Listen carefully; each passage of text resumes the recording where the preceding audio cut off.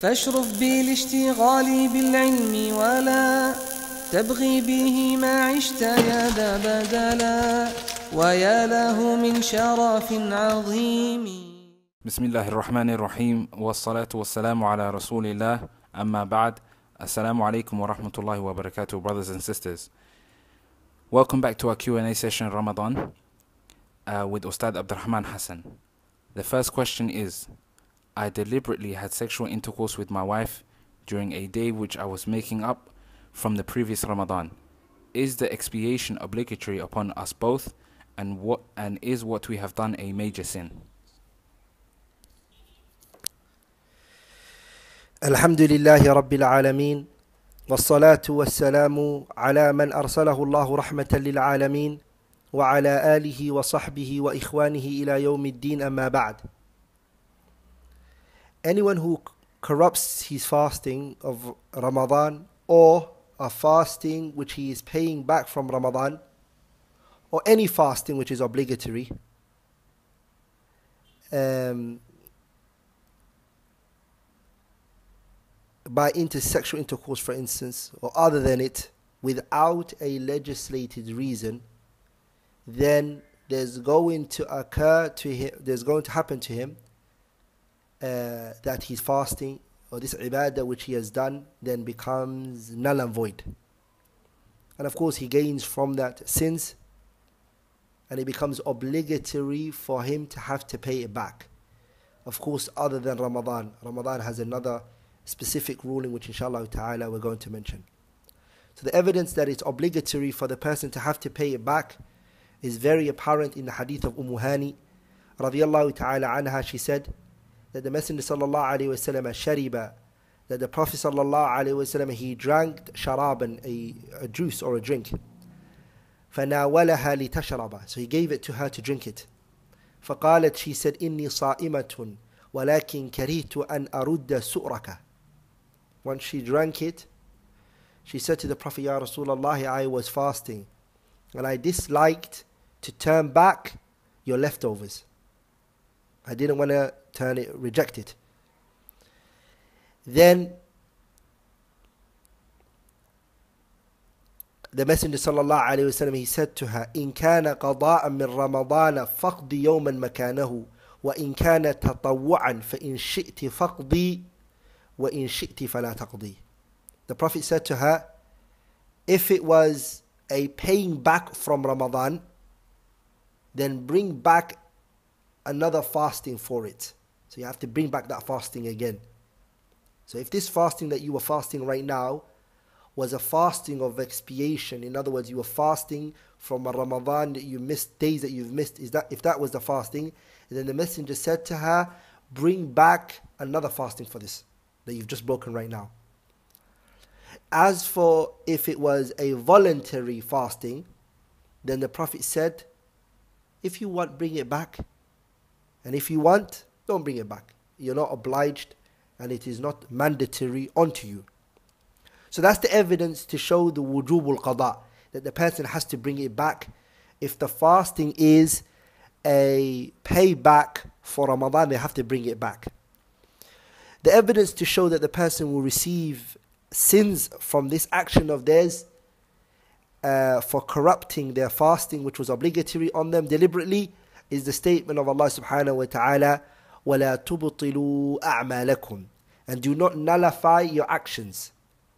So here this ayah, وَلَا تُبْطِلُوا أَعْمَالَكُمْ is general.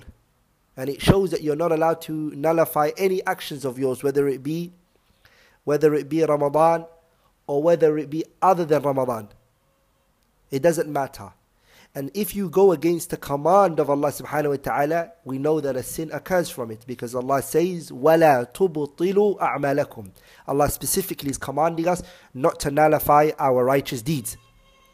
Now, some people argue and they say that the hadith that you have quoted, the hadith of Umm Hani radiallahu ta'ala anha, is in it an evidence, okay, that the Messenger وسلم, didn't reject her doings. He just told her that she has to bring it back. But the Messenger والسلام, did not rebuke her or scold her in any way, form, or shape in this action that she did, which is to drink. And so they say we take from this an iqrar that the Prophet consented to her action, that it's permissible for you to break it. So where are you going with this ayah? وَلَا تُبْطِلُوا أَعْمَالَكُمْ So we, and they then go on to saying, and then they go on to saying that if it was haram for her what she did and it was wrong, then the messenger would have clarified it to her. As the qaida is تأخير البيان عن وقت الحاجة لا يجوز. Delaying the thing that is needed at the time it's needed is not permissible in for the Messenger عليه الصلاة والسلام. He has to clarify it. Al-Imam al-Shawkani rahimahullah responded to this. And he said that this argument of theirs is غير صحيح. It is not right and it's not correct. Why? Because the Messenger wasallam, first we have to understand is that he commanded Umm Hani radiallahu ta'ala anha to bring back that fasting. That's one. The second point is that, this is the kalam of Imam al-Shawkani, is that the condition of them, for you guys to use iqrar, consent, so for you guys to use consent as an evidence, the condition is that that there is no hujjah, there's no proof that shows from another angle that the reason why the Prophet ﷺ chose not to speak about it was because it was both agreed on both parties. Then there would be no need for the Prophet ﷺ to have to mention this. I want you to understand this point. To use the Prophet's silence as a consent here wouldn't be allowed for you because we, we if there is an evidence that shows that Umm Hani was aware and she knew that what she did was wrong, there would be no need for the Messenger والسلام, to have to mention this to her or to tell her that what she did was wrong. So the question is, is that do we have a narration or do we have evidence to show that there was no need for the Messenger والسلام, to have to mention to Umm Hani that what she did was wrong? Of course we have an evidence for that.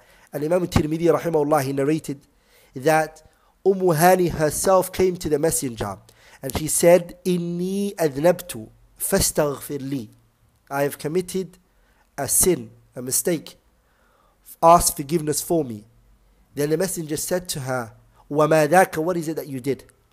قالت, she responded by saying, كُنْتُ صَائِمَةً فَأَفْطَرْتُ I was fasting and I broke my fast. And then the messenger said to her, أَمِنْ قَضَاءٍ كُنْتِ تَقْضِينَهُ Is it a qada, were you paying back a fasting? She said, no. Then the messenger said, فَلَا يَضُرُّكَ Then it doesn't harm you. So this is a mafhum. That if it was a qada, it would have harmed you. If it was a qada, it would have harmed you. That's mafhum al-mukhalafa. And another riwayah of Abu Dawood, which he added onto it, فَلَا يَضُرُّكِ إِن كَانَ تَطَوُّعًا it won't harm you if it's a voluntary fasting. So then this narration of Abu Dawud emphasizes even more the mafhum that we took from the hadith, which is that if the fasting is an obligatory fasting, which is qada, paying back, then it will harm you.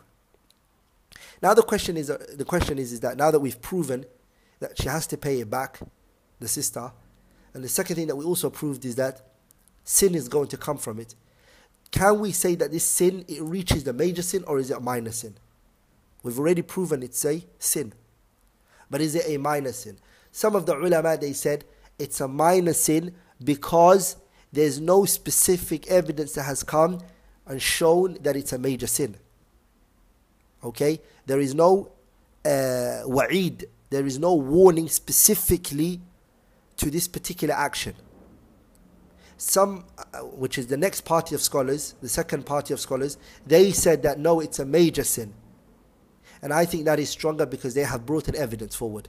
And that is that the hadith of Abu Umamat al-Bahili, radiallahu ta'ala anhu, that the Messenger sallallahu alayhi wa sallam, he said, في رؤيا منامية, that ثم انطلق بي فإذا أنا بقوم معلقين بعراقيبهم مشققة أشداقهم تسيل أشداقهم دما قال قلت من هؤلاء قال هؤلاء الذين يفطرون قبل قبل تحلة صومهم أما تحلة صومهم So the Messenger sallallahu alayhi wasallam he saw a group of people who were being punished alayhi salatu wasalam. They were what? They were being punished with their internal organs. And the Messenger and blood was gushing from them. So the Messenger alayhi salatu wasalam he asked, he said, Who are these people being punished like this? and it was told to him that they are the ones who break their fasting before the sunset. They break their fasting before the sunset. So this hadith shows that it's a it's a major sin. If it wasn't a major sin, then the Messenger والسلام, would have not told us this grave and this serious punishment for them. So what I say to this particular uh, individual is uh, is to come back to Allah and repent, to come with righteous actions, and also to come with qada, to bring back this fasting. And as for kafara, then the kafara is not for the fasting except Ramadan. Specifically in the month of Ramadan, the fasting that you're fasting, the expiation for that is when you deliberately have sexual intercourse that you have to do what? And a, a kafara. The kafara is not outside Ramadan, even if you're paying back a fasting of Ramadan. The reason for that is because the fasting of Ramadan is a wajib which is mudayyak. It's a wajib which is restricted at a particular time. And as for the sawmul qada, it is not mudayyak, it is mutlaq, it's unrestricted. And the scholars, as we know, they differ between the wajib which is mudayyak from the wajib which is not mudayyak, the wajib which is restricted from the wajib that is not uh, restricted. So we say to this sister, and also there's no particular evidence that says that they have to bring back, that they have to do expiation for this particular fast. So what we say to this particular, what we say to the sister, inshallah ta'ala, is uh, to fast and bring back that fasting, ask Allah for forgiveness, and come with righteous, uh, with righteous actions. Naam. The second question is, my sister was sick for two consecutive Ramadans, and she did not co- compensate any of them due to her illness. Recently, she died. What should we do in this, in this case, as her family?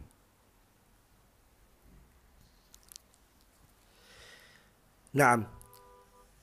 First of all, I say may Allah subhanahu wa ta'ala bestow His never ending mercy onto the sister and forgive her for her any shortcomings that she has come with and resurrect her with مع النبيين والصديقين والشهداء والصالحين وحسن أولئك رفيقا After that, anyone who dies and there is fasting upon them, and the fasting is an obligatory fasting such as Ramadan, then it's upon the family of the dead that they feed every single day of those days which they have missed are poor and they, they pay nisful sa and we previously spoke about what is nisful sa. And it is not permissible that they fast on behalf of that person. The reason is because the fasting of Ramadan is like um, the fasting, uh, sorry, the the, obligate, the obligation of fasting of Ramadan is like prayer. And as we know, it is not permissible for a person to pray for another person the salahs that they've missed. The fasting is the same as long as that, that as long as that fasting is is not siyamu nadrin as long as that fasting is not a fasting of nadr the reason is because there is a specific evidence for this siyamu nadr is when a person makes an oath to Allah wa ta'ala that if Allah does this for them that they will fast then this fasting becomes obligatory on this person and if this person dies then the family fasts on his behalf. The reason why the fasting of nadar that is permissible for someone to fast for another person is because it's like a debt. Money that's debt. You don't have to give money to anyone and you're free from having, having to give money to anyone unless you place yourself in a position where you take money from somebody, then you would have to pay back that person that you took the money from. You are the person who made it obligatory on yourself to have to pay it back now. But originally, it was not obligatory on you to have to give money to this individual. The same is the fasting of nadhr. This fasting was not obligatory on you. Now you've burdened yourself and you're the one who placed it on his shoulders to have to pay back this fasting. So because it's like a debt, you have to pay back that debt. And that's why the Messenger alayhi salatu wasalam, he said in the hadith of Aisha ta'ala anha, من مات وعليه صيام صام عنه وليه that anyone who dies, man mat, anyone who dies, وعليه الصيام and is fasting on him, صام عنه وليه, his family fast on his behalf. And yes, this hadith is mutlaq, is unrestricted. Okay? But it's meant by the fasting of a nadhr. It's meant by the fasting of nadhr. The reason is because the fasting which is nadhr remains on the person's shoulders just like the debt remains on your shoulders. And it does accept for someone else to do it for you, just like debt, someone else can do it for you. And that's the madhab taken by Aisha radiallahu ta'ala anha, Ibn Abbas, and it is also narrated from Sa'id ibn Jubair and Ahmad ibn Hanbal, and also it is what was strengthened by Ibn al-Qayyim al-Jawziyah rahimahullah. And there are two narrations that strengthen that understanding, which is number one, Hadith ibn Abbas radiallahu ta'ala anhuma, جاء رجل إلى النبي صلى الله عليه وسلم A man came to the messenger and when he came to the messenger, he said, Ya Rasulullah, inna ummi matad wa alayha sawmu shahrin. My mother died, and upon her is a fasting of a month. أفأقضيه عنها Do I pay this back for her? The messenger said, لو كان على أمك دين أكنت قاضية أكنت قاضيه عنها He said to her, if your mother had debt on her, would you have paid back that debt for her? So this shows you that this fasting was a fasting of nether because a fasting of a nether is a fasting that is a debt, as we showed right now. And then the man said, Yes. Then the messenger said, فَدَيْنُ اللَّهِ أَحَقُّ أَن That the debt of Allah is more befitted to be paid back. And there's another narration that strengthens it even more, which is, أن السعيد أن سعد بن عبادة رضي الله تعالى عنه استفتى رسول الله صلى الله عليه وسلم فقال سعد بن عبادة questioned the messenger and he said he said إن أمي ماتت my mother died وعليها نذر a fasting of a nadhr was upon her. Then the messenger said اقضه عنها pay it back for her so all of these narrations they show that the illah of why these fasting is made is obligatory is because it's like a dain just like somul nether is a dain other than that the statement of Abdullah ibn Umar still stands, which is لا يصوم أحد عن أحد. No one should fast for anyone. And this statement of Abdullah ibn Umar, it spread amongst the companions and no one ever went against him regarding it. So what this shows us is that when Abdullah ibn Umar was saying this, he meant by it what? He meant by other than fast of nadhr. Other than the fasting of, the fasting of a nadhr. So if the fasting is fast of nadhr, then the family have to fast on behalf of the dead. If not, every fasting which she has missed. So you said two months she missed. Those two months, a poor has to be given nisfu sa. Nisfu sa. Now. The next question is Is a woman allowed to go out at night for the Taraweeh prayer?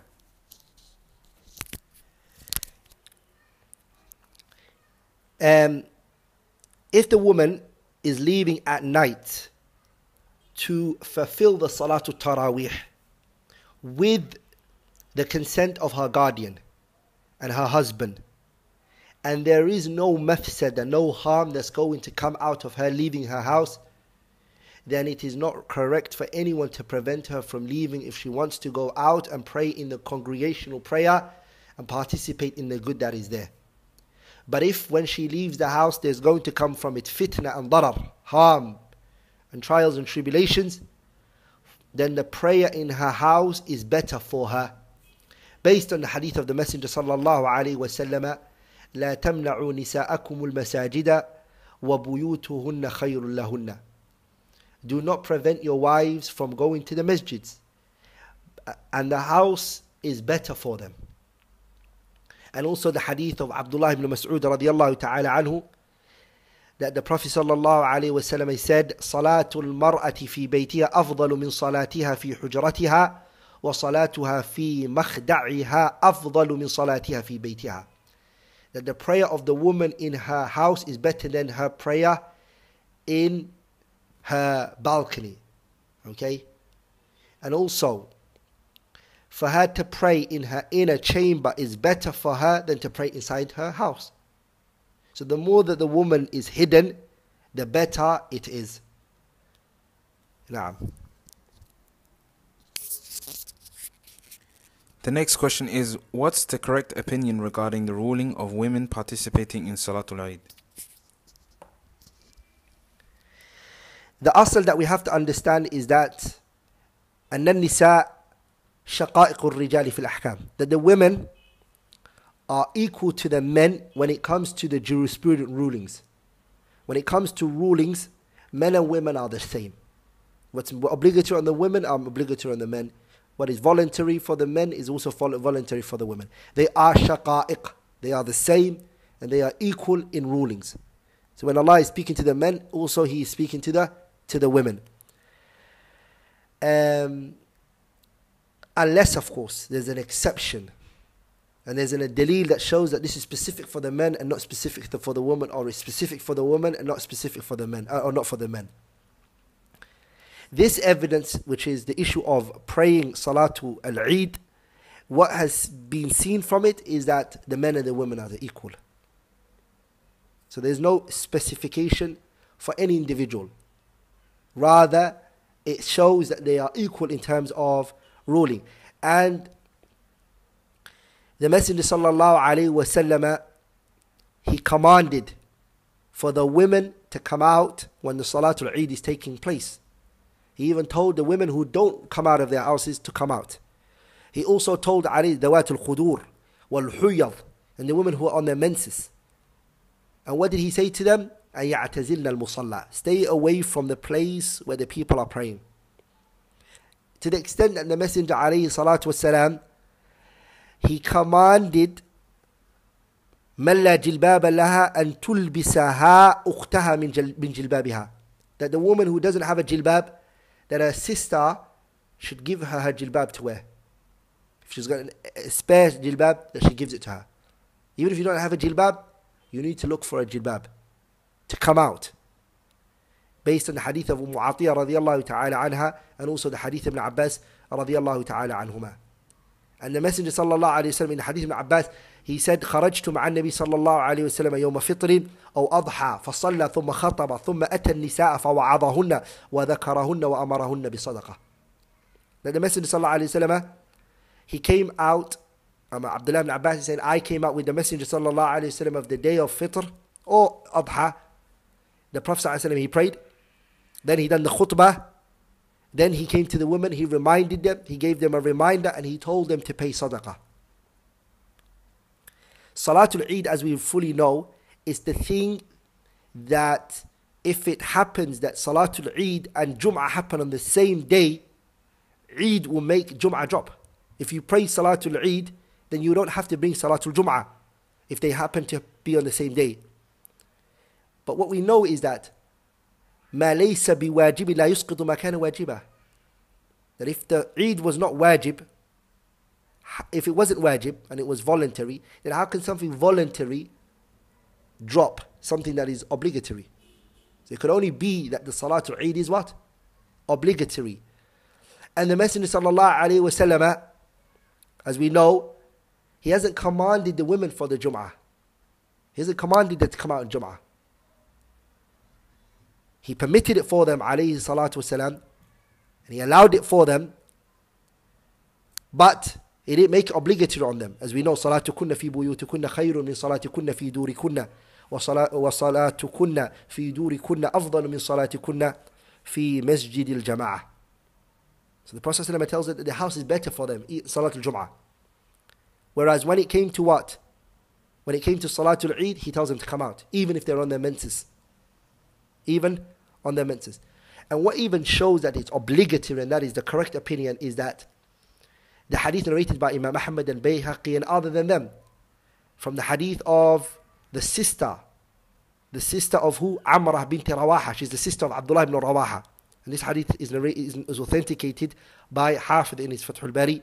He said, وَقَدْ وَرَدَ هَذَا مَرْفُوعًا بِإِسْنَادِ لَا بَأْسَ بِهِ And Albani authenticated in Sahih al-Jami' that the Prophet ﷺ has said, or the narration says, وَجَبَ الْخُرُوجُ عَلى كُلِّ ذَاتِ نِطَاقٍ That the Messenger ﷺ made it obligatory on every single woman on the day of Eid to come out. He made it obligatory on them. And that's the madhab of Abu Bakr and Ali ibn Abi Talib and Abdullah ibn Umar radiallahu ta'ala anhum. As Qadi, Al-Qadi Iyad narrated and also Ibn Abi Shayba narrated. so what we say is that Salatul Eid is obligatory on the women. Just like it's obligatory on the men. The virgin, the, the widow, the divorcee, the young, the one on a menses, all of them have to come out. And when they do come out, they have to make sure that they observe the etiquettes of coming out the houses. What do they have to leave off? Min tarki tatayyub. Don't place perfumes on yourself, sisters. And you're also not allowed to adorn yourself and beautify yourself on the street. Um, but what she has to be upon is ghayatul tasattur. She has to go to an ex- extreme levels of making sure that she hides herself. نعم and we'll stop there inshallah ta'ala سبحانك اللهم بحمدك أشهد أن لا إله إلا الله أستغفرك وأتوب إليه